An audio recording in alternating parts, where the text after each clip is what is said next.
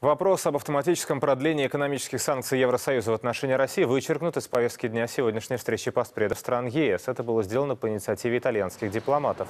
Рим настаивает необходимы дебаты. Ранее планировалось, что после того, как решение утвердят послы, его также по накатанной одобрят министры иностранных дел, а следом за ними и лидеры Объединенной Европы. Но в Старом Свете крепнет мнение, что политика вредит экономике. Так, ряд ограничительных мер Брюссель, причем вопреки давлению Вашингтона, уже вынужден был отменить. Например, без Москвы европейцы не смогли бы реализовать часть своих космических программ.